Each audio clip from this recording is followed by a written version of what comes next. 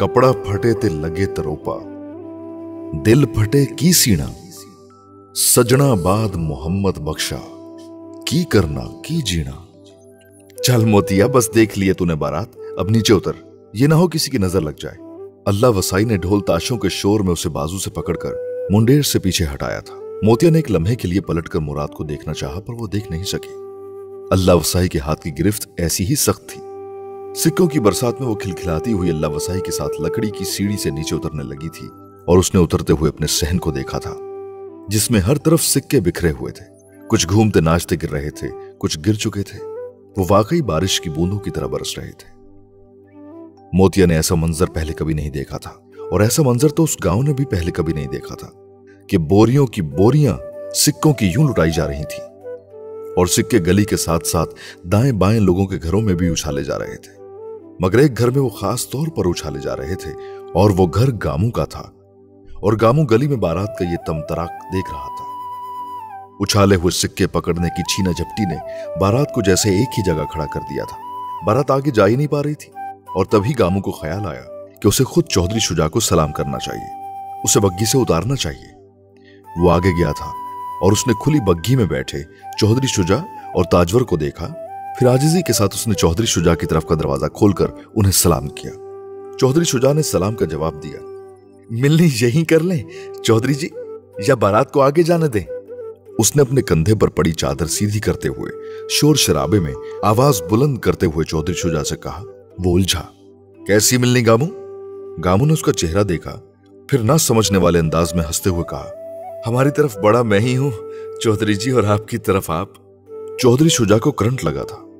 उसने बेख्तियार बराबर में बैठी ताजवर को देखा, जिसने बड़े इतमान से गामू से कहा, तुम्हारे घर भी दानों की बोरी और कपड़े आएँगे गामू गाँव के हर घर में चौधरियों की तरफ़ से जाएगा ये तोहफा?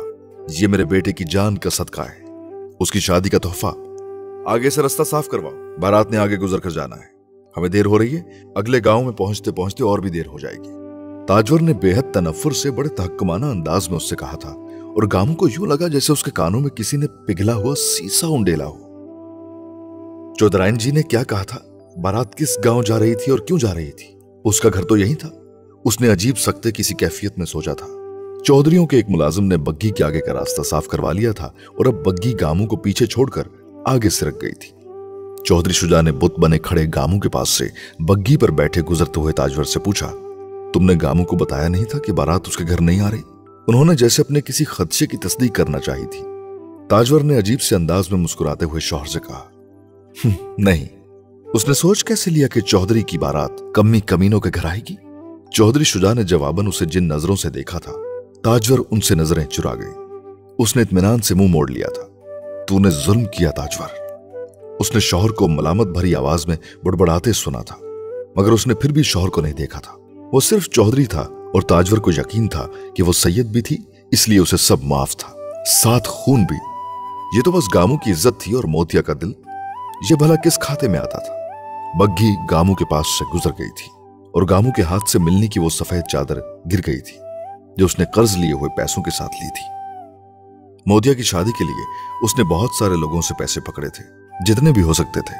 वो चौधरियों की हैसियत के मुताबिक शादी नहीं कर सकता था, मगर वो अपनी हैसियत से बढ़कर तो शादी कर सकता था। और अब वो सफ़ेद खद्दर की चादर गाँव की धूल मट्टी में अटी पड़ी थी और गाँव को लग रहा था उसके इर्द गिर्द सिक्के पकड़ते गाँव के लोग सिक्के नहीं, उसकी इज़्ज़त की धज्जियाँ नोच रहे थे। वो सारी सरगोशियाँ जिन्हें वो इतनी देर से कानों से दिमाग तक जाने ही नहीं दे रहा था, अब एक बार फिर उसके कानों में सरसराने लगी थी। चौधरी शुजा ने अपने साले की बेटी के साथ किया है रिश्ता। बारात वहीं जा रही है और चौधरी मुराद की मर्ज़ी से हुआ है ये सब कुछ। तुझे किसी ने बताया नहीं कामू वो सरगोशियाँ ढोल ताशों पर हावी हो गई थी। वो चौधरी मुराद की बारात नहीं थी। वो गामू की इज़्ज़त का जनाजा था, जो चौधरियों ने निकाला था। गामू को कभी ज़िंदगी में गुस्सा नहीं आया था। वो हक बाहू का कलाम पढ़ पढ़ कर डरने और रोने वाला इंसान था।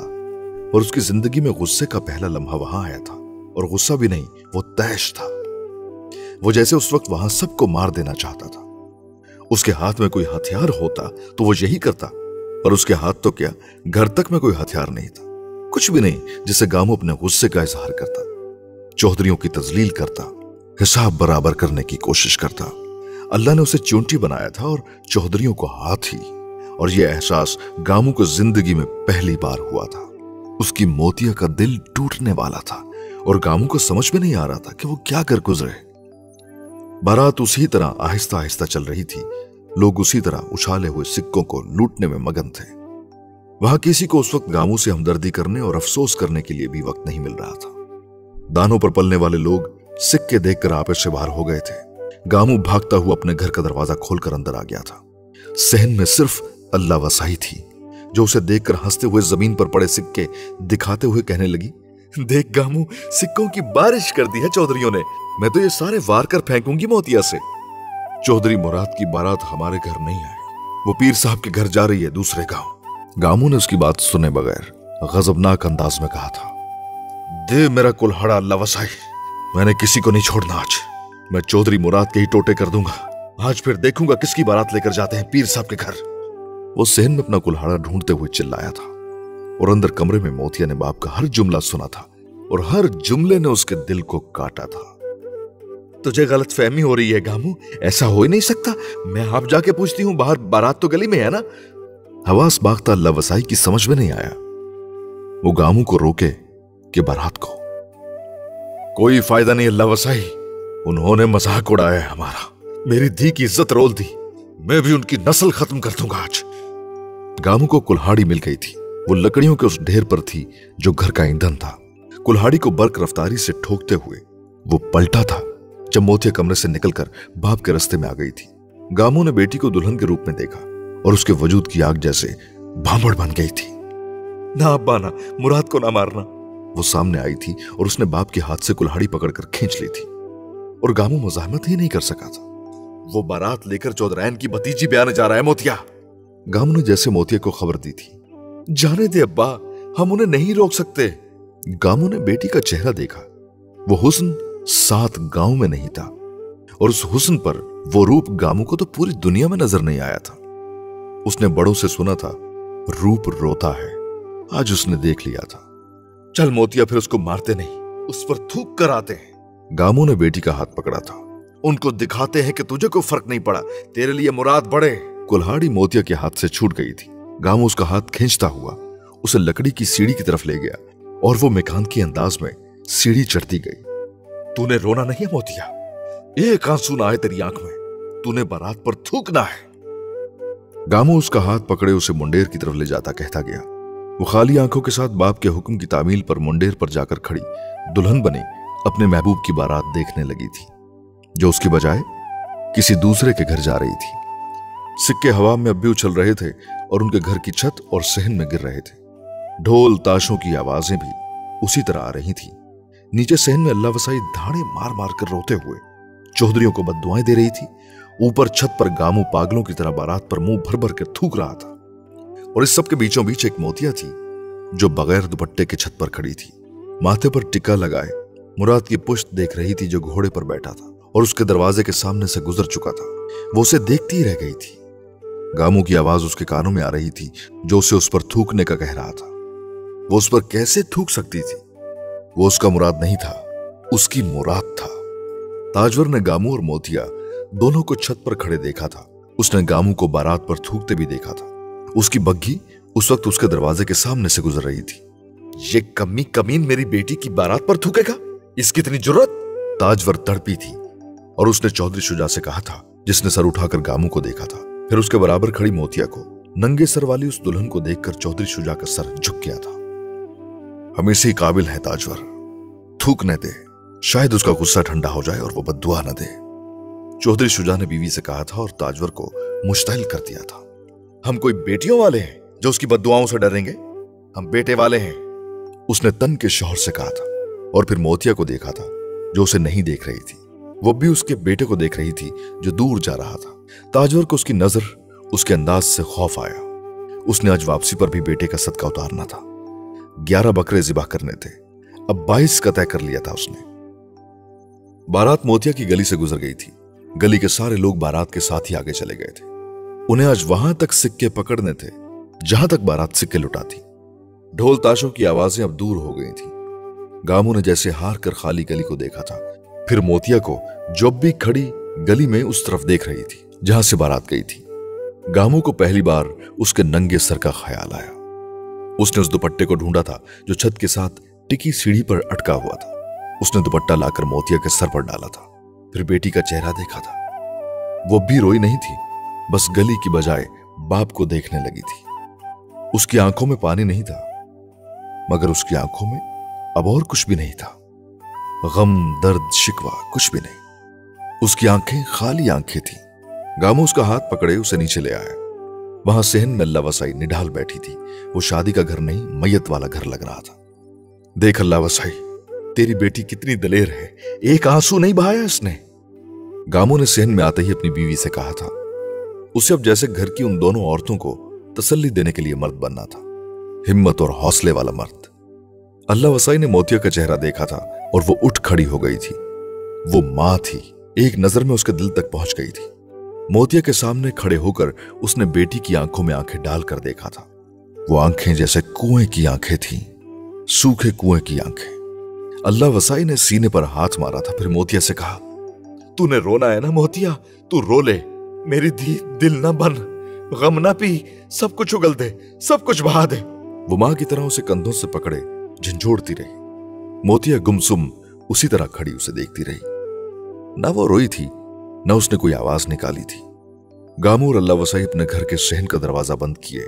बिखरे सिक्कों के बीचों बीच मोतिया की ज़ुबान खोलने की कोशिश करते रहे। पता नहीं उसे क्या क्या सुनाते और बताते रहे। कभी उसे सीने से लगाते, कभी उसके हाथ पाँव रगड़ते रहे। मोतिया ने नहीं बोलना था, वो नहीं बोली। उसने रोना नहीं था, वो नहीं रोई। उसके माँ बाप रोते रहे और वो बुत बनी उन्हें देखती रही। गम कुछ लोगों को समंदर कर देता है, कुछ को बंजर और कुछ को गम। होशो खिर्द से परे ले जाकर बिठा देता है। मोतिया ने ज़िंदगी में मोहब्बत करके बस एक नाफरमानी की थी, अपनी मर्ज़ी की मोहब्बत करके। और वो नाफरमानी उसके साथ साथ उसके माँ बाप को भी ले डूबी थी। वह उस नाफरमानी को लेकर रब के सामने खड़ी हो गई थी। रब के सामने हर कोई कभी भी जाकर खड़ा हो सकता है। रब माँ की तरह मरहम रखता है। बंदे के किरची किरची वजूद को इस तरह जोड़ देता है कि लकीर भी ढूँढने से नहीं मिलती। और रब बाज दफ़ा किरची किरची वजूद की वजह बनने वालों को भी उसी तरह किरचियों में तोड़ देता है। चौधरी शुजा ने ठीक कहा था। ताजवर ने जुल्म किया था। गलत दिल को तोड़ बैठी थी। वो गामू और अल्लाह वसाई की मोतिया का दिल था। उस तोहफे और नेमत का दिल था जो रब ने उन दोनों की नेकियों के एवज उन्हें अदा किया था। चौधरी शुजा ने मुराद की बारात के पूरे रास्ते दोबारा ताजवर से बात नहीं की थी और ताजवर ने उसे मुखातिब करने की कोशिश भी नहीं की थी। उसे यकीन था चौधरी शुजा का गुस्सा ठंडा हो जाएगा, जैसे हमेशा हो जाता था। चुप सिर्फ़ चौधरी शुजा को नहीं लगी थी, मुराद को भी लग गई थी। ताजवर ने शोहर को नजरअंदाज कर दिया था, पर बेटे का बुझा हुआ चेहरा और खामोशी उससे बर्दाश्त नहीं हो पा रही थी। वो सारी रस्मों में खामोश रहा था। जो वो कहती रही वो करता रहा।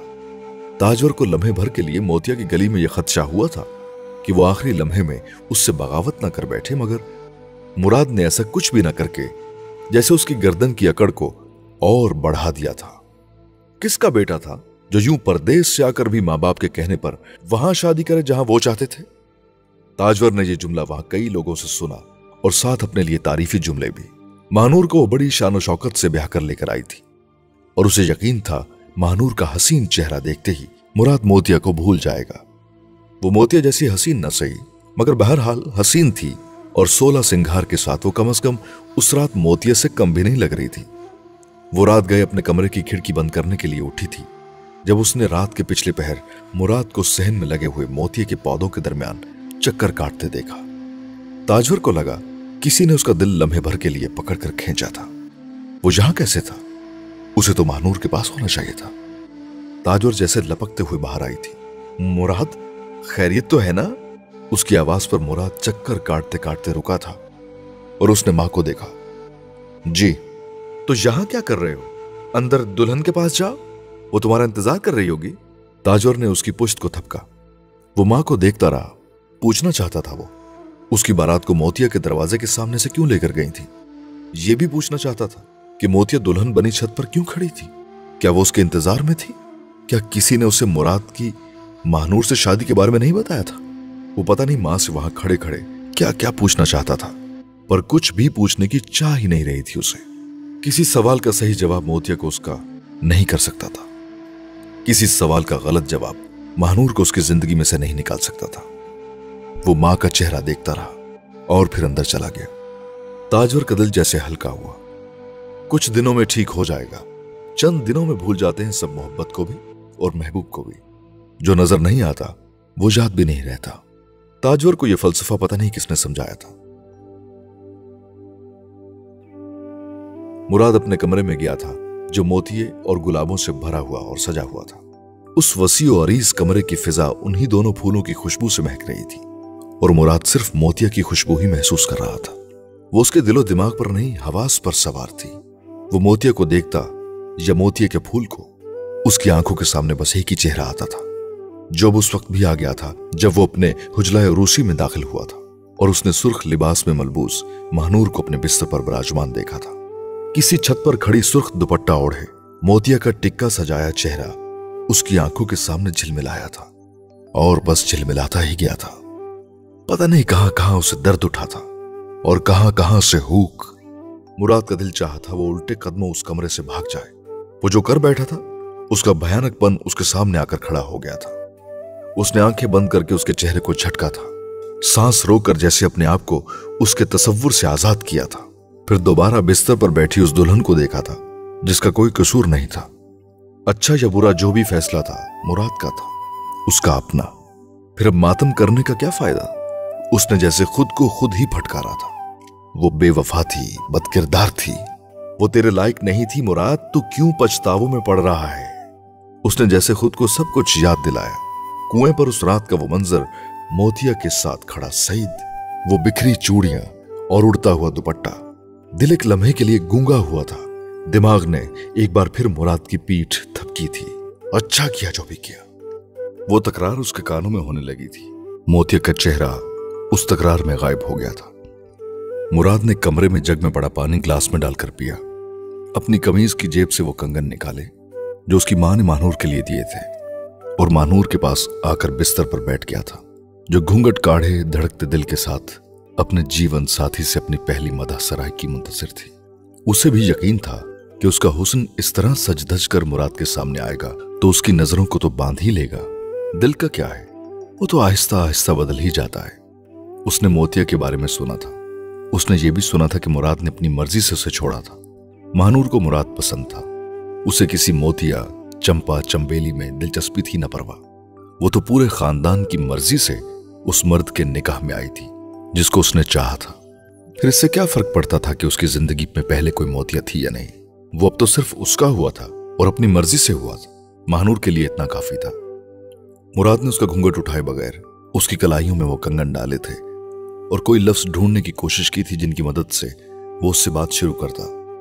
वो मोतिया होती तो उसे लफ्ज ढूँढने नहीं पड़ते। वो महानूर थी और महानूर से मुराद क्या बात करता? वो चुपचाप उसके सामने बैठा रहा और महानूर घूंघट में मुँह छुपाए, सर झुकाए, उसके बोलने का इंतज़ार करती रही। बहुत देर के बाद मुराद ने बिलाकर उसका घूंघट उठाया था और उसके चेहरे पर पहली नज़र डालते ही उसके मुँह से बेख्तियार मोतिया निकला था। छत पर खड़ी सुर्ख दुपट्टे वाला वो चेहरा एक बार फिर वहाँ आ गया था और इस बार वो महानूर और उसके बीच आ गया था। मुराद मबहूत उसके चेहरे को देखता रहा और महानूर ने पलकें उठाकर भी मुराद को देखने की कोशिश नहीं की थी। मोतिया के लफ्ज ने उसे बुत बना दिया था। मुराद अब अपनी उंगलियों से उसका चेहरा छू रहा था। जैसे कोई बुत तराश अपने सबसे दिलपसंद शाहकार को छूता है। वो उसके माथे के टिक्के के चाँद को अपनी उंगली से हिलकोरे दे रहा था। उसकी नाक की बाली की सुर्ख मोती को उसके सुर्ख होंठों से छूने से हटा रहा था। उसके कानों के झुमकों को झुला रहा था। और मानूर ने तब पहली बार मुराद का चेहरा देखा था। और उसकी आँखों में उसे मोतिया नज़र आई थी। अपना वजूद नहीं। मुराद की आँखों का वालिहानापन उसके लिए नहीं था। वो एक बार फिर उसके कानों में सरगोशी कर रहा था। मोतिया, और वो लम्हा था जब महानूर ने चाहा था, काश वो मोतिया ही होती। या वो मुराद ना होता। चौधरायन जी ने अच्छा नहीं किया। मेरे दिल को तो बड़ा सदमा हुआ इस तरह मोतिया की बेइज्जती का। बेटियाँ तो सबकी सांझी होती हैं। नहीं शादी करनी थी, ना करती, पर इस तरह किसी को आस लगाकर जलील करना। तौबा तौबा। मुझे पता होता ना कि अभी तक गामू और अल्लाह वसाई को पता ही नहीं है कि चौधरी अपना बेटा कहीं और ब्याह रहा है तो मैं खुद जाकर इतला कर देती उनको। पर मैं भी बस तेरे ही कामों में लगी रही। अब सुबह खैर से बरात है तेरी। अल्लाह खैर से वक्त निपटाए। शकूरा रात गए बतूल को लिए बैठी, दाज के जोड़े बक्से में रख रही थी और साथ चौधरी मुराद की बारात के बारे में बात कर रही थी और अपने अफसोस का इजहार कर रही थी। मायों के कपड़ों में मलबूस बतूल को एकदम प्यास लगी थी। बाहर सहन में घड़े से पानी का प्याला भरकर पीते हुए उसके कानों में माँ की आवाज़ गूंजने लगी थी।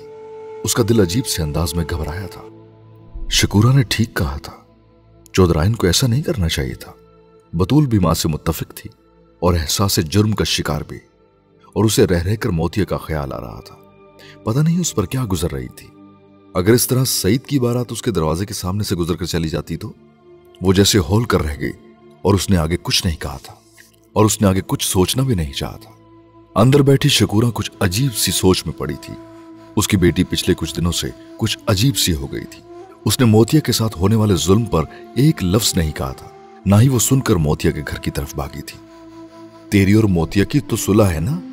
बतूल के पानी पीकर अंदर आने पर उसकी माँ ने बगैर उसका चेहरा देखते हुए पूछा था, और बतूल माँ की नज़रों, सवाल और अंदाज पर गड़बड़ाई थी। हाँ माँ, मेरे और उसके बीच क्यों कोई झगड़ा होगा? मेरा तो दिल दुख से फट रहा है। मैं मायू न बैठी होती तो मोतिया के पास जाती, उसका गम बांटती। पर अब अपने मायू के जोड़े में उसके सामने जाऊँगी तो उसका दिल और दुखेगा। बतूल को माँ के कुछ कहे बगैर भी अंदाज़ा हो गया था कि माँ क्यों उससे ये सवाल जवाब करने बैठी थी। हाँ ठीक कहती है तू। अभी तो जाना भी मत उसके पास।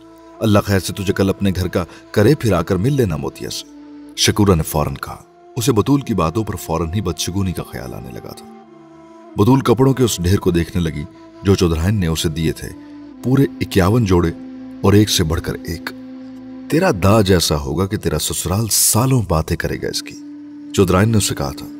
बतूल कमरे में पड़ी चीज़ें देखने लगी। सामान का ढेर सहित के घर चला भी गया था। ताजवर ने फिर भी और बहुत कुछ भेज दिया था। पता नहीं सामान के इस ढेर को देखकर बतूल को खुशी क्यों नहीं हो रही थी। कुछ था जो उसे परेशान कर रहा था, तंग कर रहा था। उसकी माँ रात गए लालटेन की रोशनी में जोड़े टांगते हुए एक टप्पा गाने लगी थी और बतूल की आँखों के सामने सिर्फ़ मोतिया का चेहरा आ रहा था। पता नहीं वो किस हाल में थी और अगर कभी उसे यह पता चल गया कि यह सब कुछ मैंने किया है तो वो क्या करेगी। उसने जैसे मोतिया के मुमकिन रद्दमल के बारे में सोचने की कोशिश की थी। उसके जहन में कोई जवाब नहीं आया था। वो जानती थी मोतिया कुछ नहीं कर सकती थी। वो बेबस थी। बतूल फिर भी बैठे सोचे जा रही थी। उसने सईद को पाने के लिए बहुत बड़ी कीमत अदा की थी। उसने मोतिया नहीं खोई थी, अपने ईमान का भी सौदा किया था। बतूल ने सोचा था वो सईद से शादी के बाद फ़ौरन हज या उम्र पर जाएगी और अल्लाह से तौबा करेगी। फिर सब ठीक हो जाएगा। बिस्तर पर लेटते हुए उसने जैसे अपने आप को तसल्ली दी, उसके कानों में अब भी शकूरा के टप्पे की आवाज़ गूंज रही थी। मुखड़े दा तेल माइया। तेरे नाल जाना चाहे वेचा दिल माइया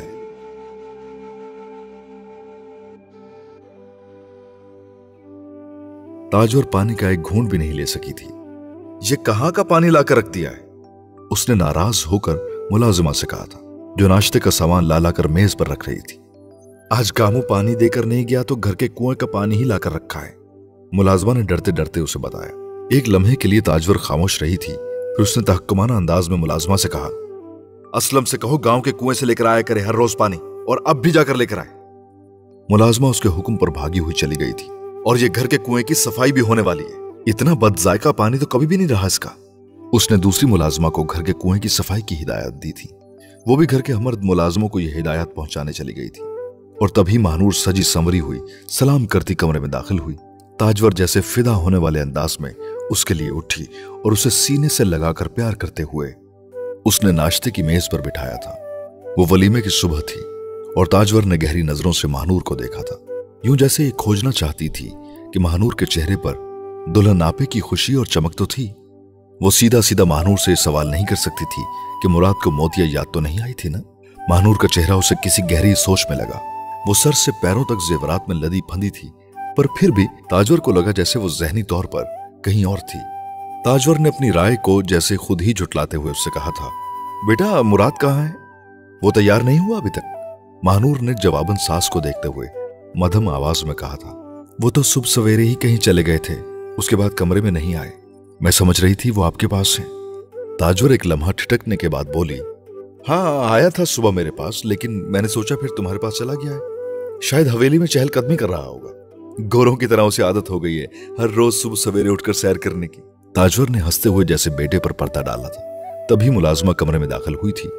छोटे चौधरी को देखो, हवेली में कहा है? ताजवर ने उसे हिदायत दी थी। वो तो जी सुबह ही घोड़े पर बैठकर कहीं चले गए थे। मैं जब हवेली आ रही थी तो मैंने उन्हें जाता देखा था। मुलाजमा ने इतला दी और पराठों की चंगेर रखकर चली गई। हाँ वो गया होगा सुबह सुबह नहर किनारे जाया करता है अक्सर। ताजवर ने इस बार बहू से नज़रें चुराते हुए कहा था और मौजू बदलने की कोशिश करते हुए उसके सामने प्लेट रखते हुए उससे कहा, बेटा, तुम नाश्ता करो। आ जाएगा वो थोड़ी देर में। महानूर ने मुराद का इंतज़ार करने का इसरार नहीं किया था। उसे पता था उसकी फुफ्फी पर्दा डालने की कोशिश कर रही थी और उसने फुफ्फी का साथ दिया था। अरे, ये तो पूछा ही नहीं मैंने कि उसने तुम्हें मुँह दिखाई में क्या दिया? ताजवर ने उसकी कलाइयों में कंगन देखने के बावजूद बेनियाज नज़र आने की अदाकारी करते हुए पूछा। पराठा अपनी प्लेट में रखते हुए महानूर ने ताजवर को देखा और फिर कहा उन्होंने मुझे मुँह दिखाई में मोतिया का नाम दिया था।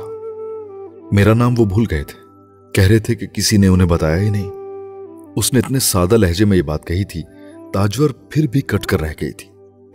वो महानूर से कुछ भी कहने और पूछने के काबिल नहीं रही थी। महानूर एक बार फिर अपनी प्लेट की तरफ़ मतवजा हो गई थी और ताजवर की भूख उड़ गई थी। वो दोनों के दरमियान एक लंबी खामोशी आई थी।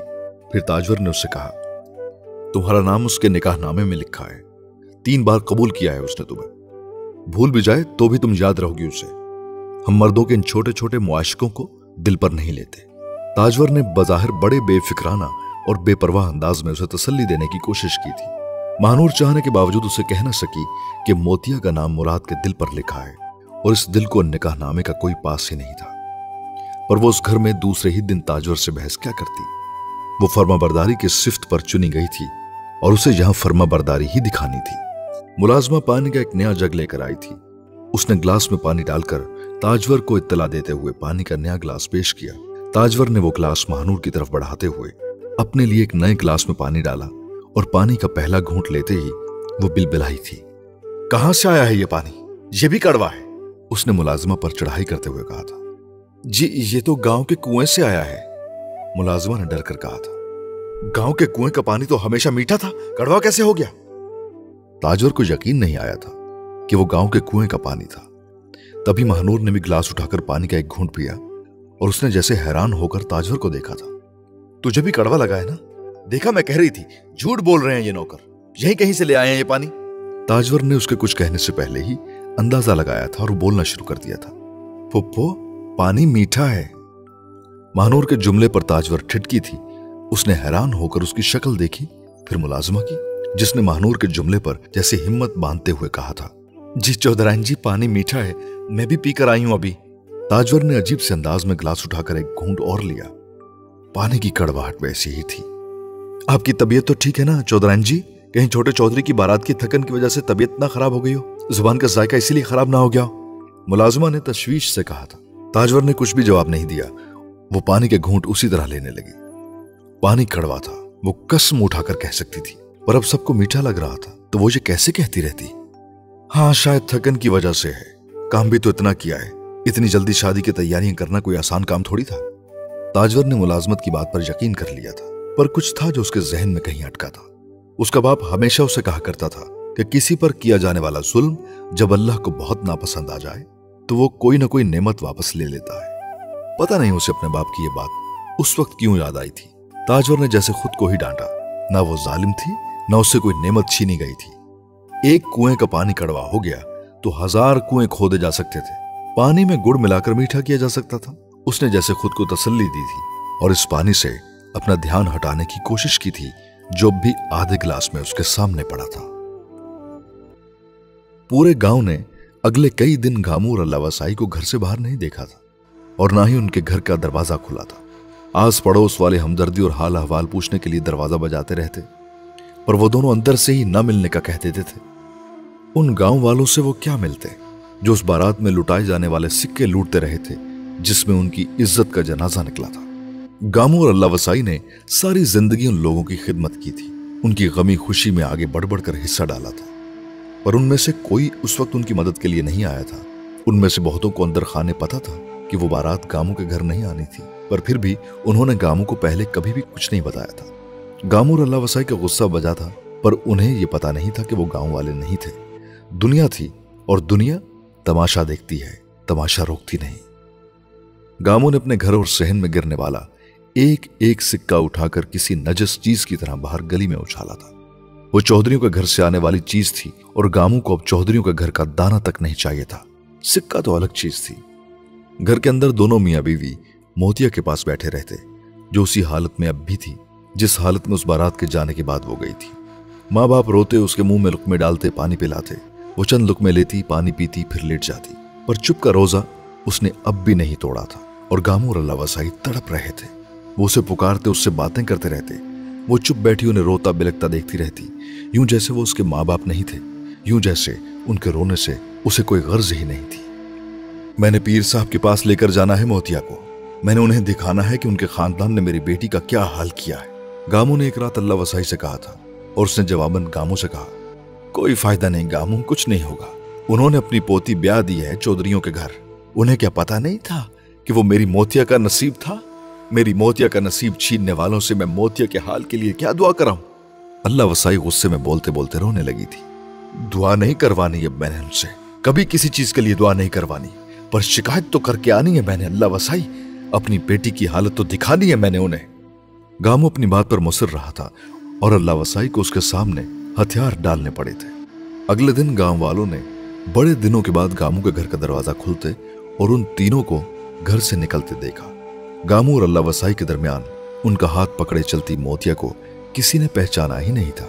वो दिनों में जैसे सूख कर कांटा हो गई थी। गाँव वालों ने रास्ता रोककर गामू और अल्लाह वसाई से अफसोस का इजहार करने की कोशिश की थी, पर उन दोनों में से किसी ने उनका पुरसा नहीं लिया था।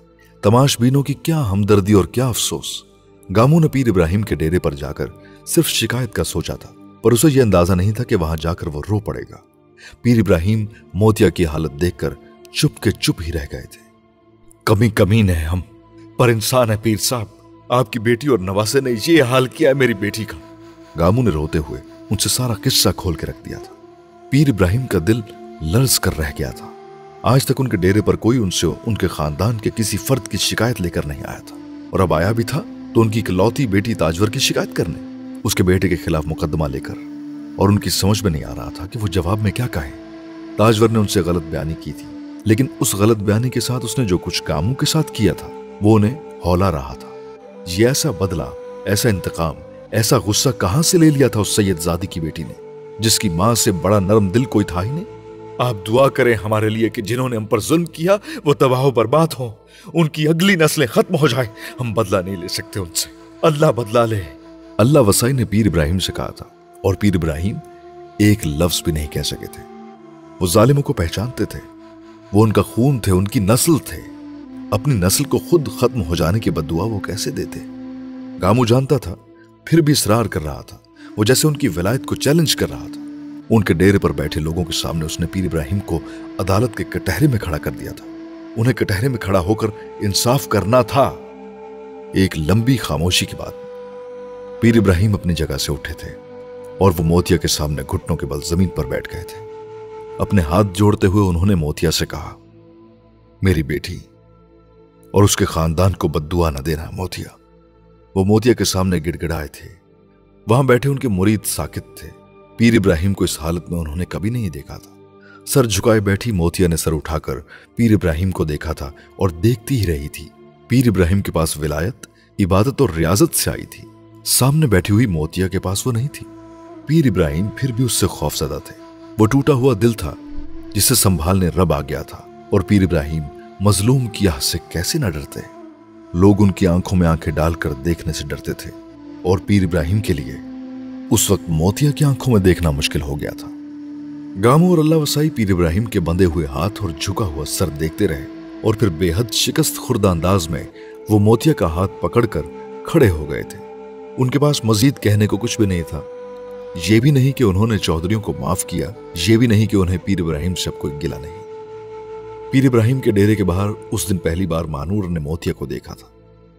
वो नई दुल्हन की तरह सजी संवरी मुलाजमा के साथ डेरे के बरामदे में सीढ़ियाँ चढ़ रही थी और मोती अपने माँ बाप के हाथ पकड़े सीढ़ियाँ उतर रही थी। सीढ़ियाँ उतरते हुए उसने सर उठाकर महानूर को देखा था और जैसे उसकी नज़रें महानूर पर जम ही गई थी, पर महानूर की नज़रें भी उससे उलझी थी। गामूर अल्लाह वसाई ने महानूर की तरफ़ आँख उठाकर भी नहीं देखा था। वो बस अपनी बेटी के हाथ था थामे, एहतियात से उसे सीढ़ियाँ उतारते रहे। महानूर ने सीढ़ियाँ चढ़ने से पहले एक नज़र पलट कर दूर जाती मोतिया को देखा था। और फिर मुलाजमा से पूछा, ये कौन थी? मोतिया थी बाजी, गामोर अल्लाह वसाई के साथ। लोग कहते हैं कि ये शिदायन हो गई है। उसके साथ हवेली से आई मुलाजमा ने बड़े अफसोस वाले अंदाज में उसे बताया था और महानूर जैसे सख्त में आ गई थी। उसने बेयकीनी के आलम में पलट कर दूर जाती हुई अपनी उस रकीब को देखा था, जिसके पास उसके सर के ताज का दिल था। इसे क्या हुआ है? उसने मुलाजमा से पूछा। मुलाजमा की आँखों और चेहरे पर अजीब सा असर आया। फिर उसने नज़रें चुराकर कहा, मुझे नहीं पता, बाजी जी। महानूर ने वहाँ खड़े आते जाते लोगों के दरमियान उससे मजीद कुछ नहीं पूछा।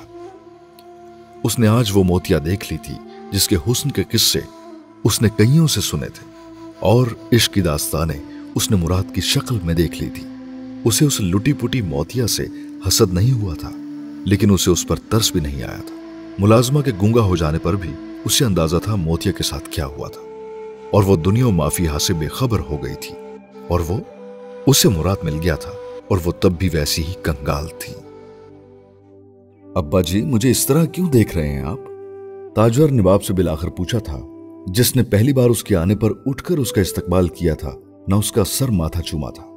उसने सिर्फ़ बैठे बैठे उसके सलाम का जवाब दिया था, और फिर तस्बी के दाने गिराता हुआ बस उसे देखने लग गया था, और उसके देखने के अंदाज ने ताजवर को परेशान कर दिया था। वो बेटे और बहू के साथ उनसे मिलने आई थी, मगर मुराद उन्हें छोड़कर वापस चला गया था। और ताजवर के इसरार पर भी नहीं रुका। और अब ताजवर अकेले कमरे में बैठी, अपने बाप की काटदार नज़रों का सामना कर रही थी। तूने ताजवर आज मेरा सर उनके सामने नीचा कर दिया, जो हमारे पास दुआएँ करवाने आते हैं। तूने आज मुझे उनके सामने हाथ जोड़ने पर मजबूर कर दिया। पीर इब्राहिम बिलाखर लंबी खामोशी के बाद बोले थे, ताजवर का माथा ठुंक गया था नाम न लेने के बावजूद जैसे उसे अंदाज़ा हो गया था कि वो किसकी बात कर रहे थे, और वो बेचैन हुई थी। उसके बाप ने आखिर उनके सामने क्यों हाथ बांधे थे, किस लिए? उसका खून खोलने लगा था। उनकी ज़रूरत कैसे हुई कि वो उसके बाप के पास उसकी शिकायत लेकर पहुँचे थे? आप किसकी बात कर रहे हैं, बाबा जान? उसने बजाहर अनजान बनने की कोशिश की थी। मैं मोतिया की बात कर रहा हूँ। उसके माँ बाप लाए थे उसे मेरे पास, और जो कुछ तुमने किया है, वो दोहराया था उन्होंने मेरे सामने। ये इतना सख्त दिल तूने कहाँ से ले लिया ताजवर? पीर इब्राहिम ने दिल गिरफ्तगी से कहा, उनकी ज़रूरत कैसे हुई कि वो आपके पास आकर मेरी शिकायत करें? ताजवर गजबनाक हुई थी और पीर इब्राहिम ने कहा था, ये घमंड तकबर तुझे बर्बाद कर देगा ताजवर। तेरे खानदान को तबाह कर देगा। बाबा जान, आप उन लोगों की हिमायत ना करें। आप हमेशा मेरे खिलाफ उनकी हिमायत करते हैं। उसने उसी बदतमीजी से कहा था, तेरे खिलाफ नहीं खड़ा जालिम के खिलाफ खड़ा हूँ। ताजवर एक लम्हे के लिए बोल नहीं सकी, फिर जैसे शोला ज्वाला बनकर बोली, बाबा जान, मैं जालिम हूँ। जुल्म उसकी बेटी ने किया, मेरे बेटे को वरगलाया, बागी बनाया, मुझसे छीनने की कोशिश की और जालिम मैं हूँ। तुम क्यों बारात लेकर उनको जलील करने उनकी गली से गुजरी थी? मुझे अगर उस दिन पता चल जाता कि तुम बारात उनके घर के सामने से गुजार कर लाई हो तो मैं महानूर की बजाय मोतिया का निकाह ही पढ़ाता मुराद के साथ। ताजवर यकदम उठ खड़ी हुई। आप क्या चाहते हैं मुझसे? तो जाकर मोतिया के सामने हाथ जोड़कर माफ़ी मांग। मेरे जुड़े हाथों पर उन्होंने मुझे माफ़ नहीं किया। ताजवर का दिमाग घूम गया। बाबा जान, मैं और कमी कमीनों के सामने जाकर हाथ जोड़ूं, ये कभी नहीं हो सकता। तेरा गुरूर मेरे खानदान की गद्दी ले जाएगा ताजवर ताजवर ने बाप का चेहरा बेयकीनी से देखा। वो बहुत बड़ा जुमला बोल रहे थे। गद्दी हमारे खानदान से निकलेगी तो कहाँ जाएगी विलायत? उस माशकी की बेटी के पास। ताजवर ने बाप का मज़ाक उड़ाया था। आपका मतलब है कि आपकी बजाय लोग उसके आस्थाने पर आके दुआएँ मांगेंगे। ऐसा नहीं हो सकता, बाबा जान। आप विलायत होते हुए भी ऐसी बातें कर रहे हैं। आपसे ज़्यादा तो मैं जानती हूँ रूहानियत को। ताजवर ने कहा था, तू रूहानियत को जानती है, रब को नहीं जानती। तेरा गुरूर ताजवर तेरे खानदान को खा गया। वो कहते हुए वहाँ से बेहद नाराजी के आलम में निकल गए थे और वो सदमे की हालत में वहाँ खड़ी रह गई थी। उसका बाप उसे क्या कहकर गया था? और इतनी बड़ी बात? ताजवर का दिल किसी ने मुट्ठी में मसला था। एक लम्हे के लिए उसे बहुत हैबत आई थी, मगर फिर उसकी जिद और गुरूर ने उसे ऑक्टोपस की तरह अपने शिकंजे में ले लिया। किसी कमी कमीन के सामने ताजवर नहीं झुकेगी, बाबा चान उसने जैसे दिल में फैसला कर लिया था। आज मैंने मोतिया को देखा, अपने कमरे में जूते उतारते मुराद को जैसे करंट लगा था। उसने बर्क रफ्तारी से पलटकर महानूर को देखा था, जो सिंघार मेज के सामने बैठी हुई, अपने जेवरात उतारती हुई, आईने में मुराद को देख रही थी। उसका ख्याल था, मुराद अब उससे पूछेगा कि कहाँ या नाराज़ होकर कहेगा, क्यों? मुराद ने दोनों में से कुछ भी नहीं कहा था। उसने लहजा भर के लिए महानूर को देखकर दोबारा अपने जूते उतारने शुरू कर दिए थे। वो बीमार लग रही थी। दादाजान के पास दुआ करवाने आई थी। महानूर फिर भी कहे बगैर नहीं रह सकी थी। मुराद फिर ठिटका था। फिर इस बार उसने महानूर को पलट कर नहीं देखा था। महानूर को हैरत हुई, महबूबा का ज़िक्र हो और आशिक इतना बेनयास, उसकी समझ में नहीं आया वो मजीद क्या कहे। उसकी मुश्किल मुराद ने आसान कर दी थी। आज पहली और आखिरी बार मोतिया का नाम तुम्हारी ज़ुबान पर आया है। दोबारा कभी मेरे सामने मोतिया का नाम मत लेना। जूते उतारने के बाद वो उठकर खड़ा हुआ था और सर्द मोहरी के साथ, उसे कहते हुए कमरे के साथ मुलेका बाथरूम में चला गया था। मैं नाम न लूँ और तुम नाम का कलमा पढ़ते रहो। महानूर मधम आवाज़ में बड़बड़ाई थी। उसे लगा था मुराद ने किसी मक्खी की तरह उसे अपने और मोतिया के बीच से निकाल दिया था। पर वो कीड़ा मकोड़ा नहीं थी, वो इंसान थी, जलने बुझने वाला, गम करने वाला, याद रखने वाला, खोजने वाला। क्या हुआ था मुराद और मोतिया के बीच? कि मुराद ने उसे अपनी ज़िंदगी से निकाल फेंका था? और सिर्फ़ निकाला नहीं था, किसी और को उसकी जगह भी दे दी थी। महानूर को अब यह खोजना था, और हर कीमत पर खोजना था। मुराद चंद दिनों बाद वापस इंग्लैंड चला गया था। उसे अपनी डिग्री मुकम्मल करनी थी। वापसी के सफ़र में तांगे में बैठे उसे अपने आने का सफ़र याद आया था।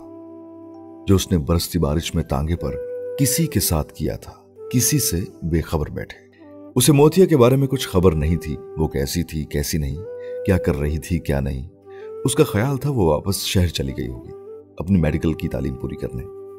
पर मोतिया वापस शहर डिग्री के लिए नहीं जा सकी थी। गामू और अल्लाह वसायु से इलाज के लिए शहर शहर गाँव गाँव हर जगह लेकर फिरते रहे। कहीं से शिफा मिल जाती, कहीं से उसकी ज़ुबान का ताला खुल जाता। वो पहले की तरह हंसती, उनकी ज़िंदगी में रौनक वापस आ जाती। किसी डॉक्टर, हकीम, पीर को मोतिया की बीमारी समझ में नहीं आई थी। कोई मोतिया को शिफायाब नहीं कर सका था। वो तूफ़ान, गामू और अल्लाह वसाई की पूरी ज़िंदगी तबाह बर्बाद करके चला गया था। गामू अपना गाँव वालों को पानी पिलाता था, न चौधरियों से दाने लेता था। वो रेलवे स्टेशन पर कुली का काम करने लगा था। बोझ उठाना किसी के रिज्क का एहसान उठाने से बेहतर था। जो कुछ वो कमा कर लाता, वो मोतिया के इलाज पर खर्च हो जाता। गामू अब हक बाहू का कलाम भी नहीं पढ़ता था। वो जब पढ़ने लगता तो उसके गले को फंदा लग जाता था। वो जार जार रोता। या अल्लाह, औलाद ना देता, खाली गोद रखता, या इस बुढ़ापे में औलाद का गम ना देता। उसने अब अपने गुनाहों की माफ़ी मांगना भी छोड़ दी थी, तौबा करनी भी छोड़ दी थी। उसे लगता था वो अब इतना गुनाहगार हो चुका है कि कुछ भी कर ले, उसकी बख्शिश नहीं होनी थी। उसको अल्लाह अगर बख्शिश और मोतिया की सेहत में से कोई एक चीज़ चुनने के लिए कहता तो गामू आँखें बंद करके मोतिया की सेहत चुन लेता। पर उसको अल्लाह ने ज़िंदगी में कोई इंतखाब का हक दिया ही नहीं था, या कम से कम गामू को यही लगता था। चौधरियों के घर नए मेहमान की खुशखबरी थी, और यह खबर पूरे गाँव के साथ गामू और अल्लाह वसाई के घर भी पहुँची थी। और इस खबर ने गामू और अल्लाह वसाई को और गमगीन कर दिया था। चौधरियों ने जुल्म किया था फिर भी वहाँ सब कुछ ठीक था और वो मोतिया का इलाज कराते कराते भी थक गए थे। वो दोनों मियाँ बीवी अब एक दूसरे से भी बात नहीं करते थे, बस वहाँ बैठे मोतिया को देखते रहते, जहाँ वो बैठी रहती। उनके घर अब खामोशी और सन्नाटा गूंजता था। ना अल्लाह वसाई घर सजाती थी, ना चादरें काटती थी। उस घर में सिर्फ़ मोतिया गूँगी नहीं हुई थी, उसके माँ बाप भी हो गए थे, जिनकी सांस मोतिया के दम से चलती थी। और उस घर में जो कुछ हो रहा था, उसकी खबरें हवेली भी पहुँचती थी। गाँव की औरतें ताजवर को मोतिया की हालत के बारे में बताया करती थी और ताजवर उन्हें तौबा करने के लिए कहा करती थी। वो बबांगे दौल कहा करती कि यह सब के लिए इबरत का मकाम है। अपनी औकात से ऊँचे ख्वाब देखने का नतीजा। औरतें उसकी हाँ में हाँ मिलाती थी, फिर बाद में उसकी बुराई भी करती। ताजवर के अलावा इस गाँव में कोई ऐसा नहीं था, जो मोतिया के साथ ये सब होने पर खुश होता। गाँव के मर्द चौधरी शुजा को भी गाँवों के हालात से आगाह करते रहते। चौधरी शुजा ने चंद बार गाँवों को हवेली बुलाने की कोशिश की वो उसकी मदद करना चाहता था ताकि मोतिया का इलाज हो सके, मगर गामू उसके लाख बुलावों पर भी हवेली नहीं आया। वो रस्ते में भी कहीं चौधरी को देख लेता तो रास्ता बदल लेता, आमने सामने ही ना होता। चौधरी शुजा को गामू और मोतिया के हवाले से रंज था, मगर वो अब उसकी तलाफी के लिए कुछ नहीं कर सकता था। चंद बार उसने हवेली से गामू के लिए अनाज भी भेजा। वो अनाज गामू ने उसी तरह वापस भेज दिया चौधरी शुजा भी पीर इब्राहिम की तरह ताजवर को समझाने से कासिर थे जो आज भी मोतिया से शदीद नफरत करती थी, क्योंकि उसका ख्याल था कि मोतिया की वजह से उसके घर में दरारें पड़ गई थी। ज़िंदगी में पहली बार उसका बाप और शौहर उससे नाराज़ हुए थे, और उन्होंने उसे बुरा कहा था। चौधरी मुराद के घर आने वाले नए मेहमान की खुशखबरी ने यकदम हवेली में हर एक की तवज्जो बटा दी थी। मोतिया के हवाले से होने वाली वो बहस जो अक्सर औकात चौधरी शुजा और ताजवर के दरमियान रहती थी, वो यकदम बंद हो गई थी। चौधरी शुजा हवेली की नए सिरे से तजीनो आराइश करवाने लगा था, क्योंकि ये चौधरियों की अगली नस्ल का इस्तकबाल करने की तैयारी थी। मुराद को भी ताजवर ने इसी खुशी और जोश खरोश से इस खुशखबरी के बारे में बताया था और फिर फ़ोन महानूर को दे दिया था। मुराद ने महानूर को मुबारकबाद दी थी और अपना ख्याल रखने का कहा था। महानूर ने हमेशा की तरह जी कहा था और मुराद को उसके बाद उससे कुछ कहने के लिए लफ्ज नहीं मिल रहे थे। उसके और महानूर के दरमियान ये हमेशा ही होता था। वो चंद दिनों बाद माँ बाप की खैर खैरियत पूछने के लिए फ़ोन करता और जब ताजवर फ़ोन महानूर को थमाती तो उसे दूसरे से तीसरा जुमला ना आता। महानूर उससे कुछ भी सुनने के लिए तरस गई थी। वो इतने फासले पर था कि वो उसे शिकायत भी नहीं कर सकती थी, क्योंकि वो बहुत मुख्तसर वक्त के लिए फ़ोन करता था। पर महानूर वो सारी शिकायतें ताजवर से करती थी, जो हर वक्त उसे यही कहती कि औलाद होते ही सब ठीक हो जाएगा। और अब औलाद की खुशखबरी भी मिली, मुराद की चुप अब भी नहीं टूटी थी। महानूर बददिल हुई थी। कुछ दूर बैठी उसे खामोशी से फ़ोन कान से लगाए देखते हुए ताजवर ने खुशी खुशी शोहर से कहा था, देखा, औलाद की खुशखबरी सुनते ही कितनी लंबी बातें करने लगा है उससे। कब से फ़ोन कान से लगाए बैठी है? चौधरी शुजा ने मुस्कुराते हुए एक नज़र दूर बैठी महानूर को देखा, जो फ़ोन कान से लगाए। दूसरी तरफ़ की तवील खामोशी में किसी लफ्ज की आहट खोजने की जुस्तजू कर रही थी, पर मुराद चुप था। अपने कमरे की खिड़की के बाहर होती बारिश को देखते हुए उसकी आँखों के सामने एक बार फिर मोतिया की परछाई लहराने लगी थी। और ये दिन और रात में कई बार होता था। वो यहाँ आकर उसे ज़्यादा याद आने लगी थी। जहाँ उसके आसपास न उसके माँ बाप थे, न महानूर, पर वो होती थी। मुराद को कई बार लगता था, वो बेगैरत था। वरना कोई किसी बेवफा के लिए तो यूँ न तड़पता। वो बार बार अपने सामने वो रात लाकर खड़ी कर लेता, जब उसने मोतिया के साथ सईद को देखा था। और हर बार गुस्से से पागल हो जाने के बाद उसे यकीन होता कि वो अब तो कभी याद आएगी ही नहीं, पर वो फिर आकर सामने खड़ी हो जाती। पानी पीते हुए उसका हाथ थाम लेती, खाना खाते हुए उसके मुँह में नुकमे डालने लगती। वो कोई फूल देखता तो उसे मोतिया याद आती। वो कोई खुशबू लगाता तो वो खुशबू मोतिया की खुशबू में बदल जाती। कुछ वक्त गुजरेगा, फिर सब ठीक हो जाएगा। वो बार बार खुद को तसल्ली देता। जो पूरी दुनिया के साथ होता था, उसे यकीन था कि उसके साथ भी वही होगा। वक्त सब कुछ भुला देगा। बस कुछ वक्त लगेगा और दिल उसकी सारी तावीलें और बहाने सुनते हुए बस एक ही बात पूछता रहता, कितना वक्त? चंद हफ़्ते, महीने, साल। मुराद दिल की बात का क्या जवाब देता? जो एक तरफ़ उसको भूल जाने की मुद्दत पूछता था, दूसरी तरफ़ उससे जुदाई की साथें गिनता रहता था। बुतूल, तू अब आई है तो किसी दिन मेरे साथ चल, अब आई है तो मोतिया से मिलने चलते हैं। शकूरा ने बतूल से कहा था जो उसके पास कई महीनों बाद रहने के लिए आई थी। मैं एक आध बार गई हूँ उनकी तरफ़ और मुझसे तो मिलती ही नहीं अल्लाह वसाई। मुझे फिर भी बड़ा तरस आता है उन पर। जवान बेटी पागल हो जाए तो उसका गम बहुत भारी होता है और बेटी भी मोतिया जैसी। बतूल शकूरा की बातें सुन रही थी, फिर पागल के लफ्ज पर जैसे चौंकी थी। किसने कहा कि पागल हो गई? डॉक्टरों ने। गामू शहर लेकर गया था उसे पर शहर के डॉक्टरों को समझ ही नहीं आई उसकी बीमारी। उन्होंने कहा कि पागल हो गई है, अब इसे कुछ याद नहीं। याददाश्त खत्म हो गई है उसकी। शकूरा ने गाँव में सुनी सुनाई बातें, बेटी को भी सुना दी थी और वो बेकरारी के आलम में अपनी उंगलियाँ चटखाने लगी थी। पागल कैसे हो सकती है, अम्मा? मोतिया तो उसकी समझ में नहीं आ रहा था कि वो माँ को उसके पागल ना होने की क्या दलील दे। हो जाता है बंदा पागल जब कोई धोखा दे दे पागल होने के लिए कौन सी लिखत पढ़त करनी पड़ती है?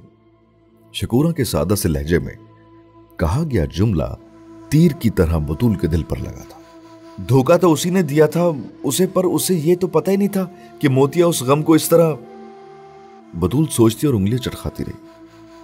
और बतूल तूने किसी डॉक्टर को दिखाना था? सईद के साथ इतनी बार तू शहर गई है तो कोई खुशखबरी आ जाती तेरी भी? इतने महीने हो गए।